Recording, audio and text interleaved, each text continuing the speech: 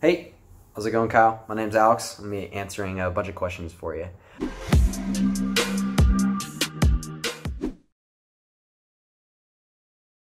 Uh, I joined straight out of high school, so originally I just wasn't ready. I don't know for that college life. I just didn't want to go to school, be a tons of tons of in debt uh, after you get your degree. I don't know. I just felt like that wasn't like my path at that certain point. So I just wanted to join uh, to get the experience uh, and then maybe one day pursue uh, like education benefits and stuff like that. I have been in the Air Force for about six years now, and my current rank is Staff Sergeant.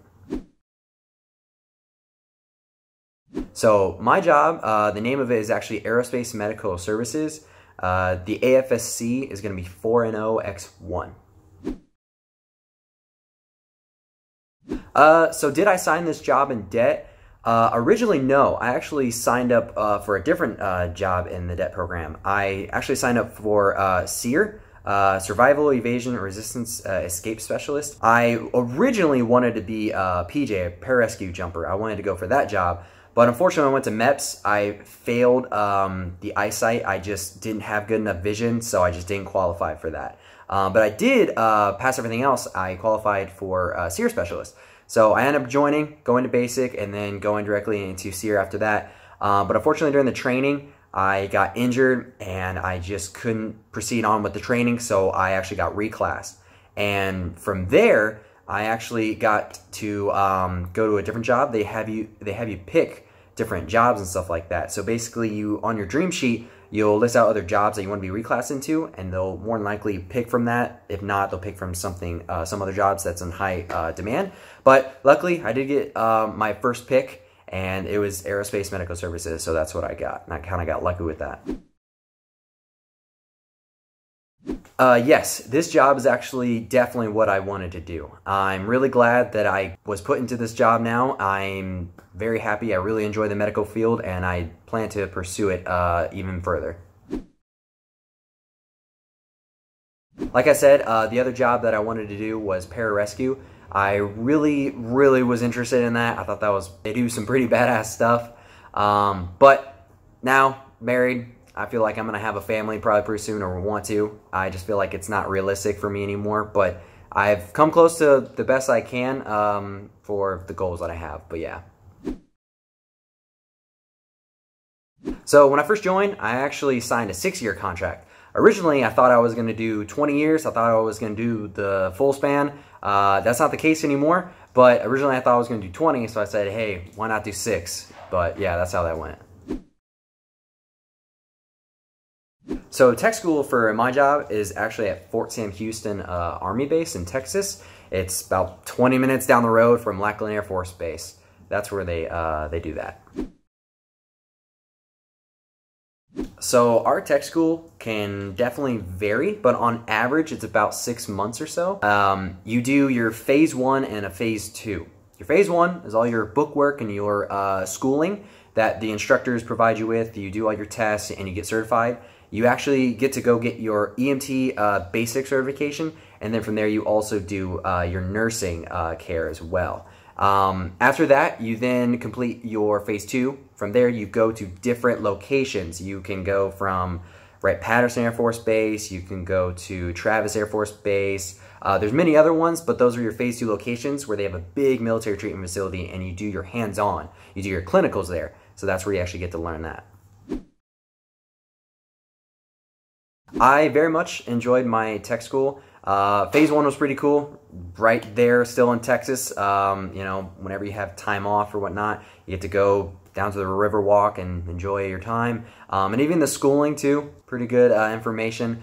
My favorite part though is definitely when I was going to phase two, when I was getting my clinicals and actually doing hands-on uh, with with patients and real world care. So that was probably like my best experiences that I really enjoyed. Uh, yeah, so with this job, you can pretty much go any location, uh, any location that has a big MTF or big military treatment facility or a clinic. Um, everywhere they need, they're going to need medical technicians that need to assist. Yeah, so within my job, actually, um, my story is going to be a little different. uh, I actually uh, possess a what's called a special experience identifier. So within this medical job, you not only can just be like a medical technician, you can hold different uh, certifications. So, for example, uh, I'm a paramedic, an actually registered paramedic, and with my job, I actually can work out of an ER emergency um, room, or excuse me, emergency uh, department. I can work out of an emergency um, room and from there, I can also go on ambulance calls. So I also also respond in uh, ambulance services. So that's a really cool thing about my job is that I can be at uh, ERs or I can be um, on an ambulance responding to medical emergencies. So that's pretty cool. So how many hours uh, you can work with this job can definitely vary. If you work in a clinic, say like you work family health or like flight medicine or different clinics like that, that's pretty nice. It has like a normal, you know, you have a seven to uh, four, seven to five job, um, Monday, Monday through Friday, five days a week. Um, with my particular job, uh, I actually work uh, what's called like a Panama shift. So these ones actually range from 12 hour work days and they actually do uh, three days on, two days off, and like vice versa, where you do two days on, three days off, three, or excuse me, um, this is where you can actually do three days on, two days off, two days on, three days off. I think I'm saying that correctly. Um, so it can vary pretty much. Uh, these are a lot of different schedules that you can work with, but, but this is the one especially. When it comes to the ER, you work that schedule. Uh, three days on, two days off, two days on, three days off, and you'll rotate that pretty much um, every other week. And then every uh, four months, you also do like days and night shifts. So that's what we can do for hours and hours. So different certifications actually uh, that the Air Force can provide for you is when you go to tech school, you get your EMTB, so your uh, emergency medical technician, your basic certification. You actually get that, and that transfers over to the civilian world. That's nationally registered. Uh, for me, I'm a nationally registered paramedic, so I'm also uh, when I decide to uh, separate and stuff, I'll be able to go and use that on the civilian sector. I'm nationally registered, so um, that is many uh, one of many certifications that you can transfer. Yeah.